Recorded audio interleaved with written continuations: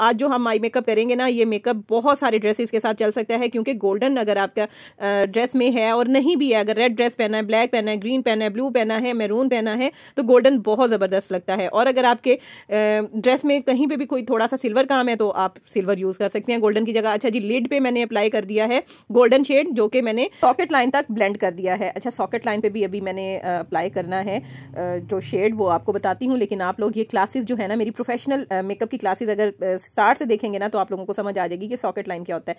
ये जो एरिया जहाँ से हमारी आँख अंदर की तरफ़ धंसती है ना, वहाँ पे उस एरिया को हम बोलते हैं सॉकेट लाइन। वहाँ पे जी क्रीज कट करने के लिए मैं पिंक शेड अप्लाई कर रही हूँ, जो कि मैंने आप लोगों को दिखाया है, जो मैं मेकअप किट यूज़ कर रही हूँ। ये ग्लैमरस आई शेड किट है और आप देखें कि सॉकेट पे रख के आपने हल्का हल्का सा बस ब्लेंड कर देना। ये इतना ईजी मेकअप है ना कि आप लोग खुद कर सकते हैं। पहले मुझे भी मेकअप नहीं आता था, बहुत डब खड़बा सा और अजीब सा मेकअप और अजीब अजीब सी चीज़ें लेके बस लगा लेनी। लेकिन अब मैं आप लोगों को प्रॉपर गाइड कर रही हूँ कि आपने किस तरह से बेस लगानी होती है किस तरह से हाई मेकअप करना है कैसे ब्लश ऑन लगानी है तो आप, आप मेरी वीडियोस देख देख के काफ़ी हद तक सीख सकते हैं और साथ ही साथ प्रोडक्ट का नॉलेज भी आप लोगों को अच्छा आएगा और आप कुछ भी गलत नहीं लेंगे। जी तो सॉकेट लाइन को जो है ना वो बड़ा अच्छा सा प्रोमिनेंट कर दिया कॉर्नर पे भी और जी सेंटर में भी जैसे सॉकेट की पूरी लाइन है वहाँ पे हल्का सा ब्लेंडिंग किया शेड की एप्लीकेशन नहीं की। अब यहाँ पे मैं ब्राउन शेड मैट लेके कॉर्नर को थोड़ी सी डेप्थ दे रही हूँ और जो ब्रश मैं यूज़ कर रही हूँ ये ब्लेंडिंग ब्रश है मैं इसको मैजिक ब्रश कहती हूँ।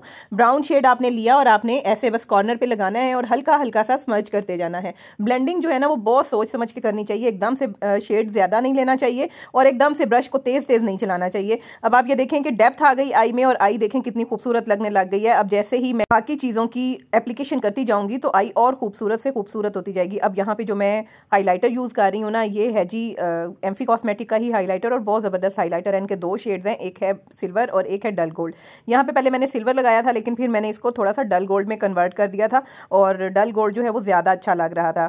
सॉफ्ट मेकअप लुक आप देखें कितनी अच्छी सी ड्रॉ हो गई है। यही हाईलाइटर मैं नोज़ पे भी यूज़ कर रही हूँ। तो आपकी जो कॉन्टोरिंग है वो भी प्रोमिनेंट हो जाएगी और नोज़ भी प्रोमिनेंट हो जाएगी। नोज़ की टिप पे लगाया और नोज़ के ऊपर लगाया। उसके बाद चीक्स पे लगाना है। चीक्स पे भी ऐसे ही लगाना है। आप लोगों ने क्वेश्चन किया था कि क्या वेट करके यूज़ करें। बिल्कुल भी वेट करके यूज़ नहीं कर रही हूँ। एज इट इज़ मैंने ये हाईलाइटर लगाया है और बड़ा अच्छा हाईलाइट हुआ है। और आप देखें कि बेस में ग्लो आ गई है। एकदम से बेस शाइन करने लग गई है। बेस की वीडियो आप लोगों को लिंक जो है वो डिस्क्रिप्शन में मिल जाएगा। लिप्स के ऊपर लगा दिया। चीक्स पे लगा दिया चिन पे लगा दिया और फोरहेड पे लगा दिया, बारी आ जाती है लाइनर की लाइनर आपको जैसे खूबसूरत लगता है ना, अपनी आई के लिए उस तरह लगाएँ, उसके बाद आप मस्कारा लगाएँ।